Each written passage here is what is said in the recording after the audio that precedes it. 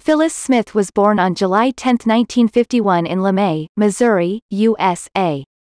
She is known for her work on Inside Out 2015, The Office 2005, and Bad Teacher 2011.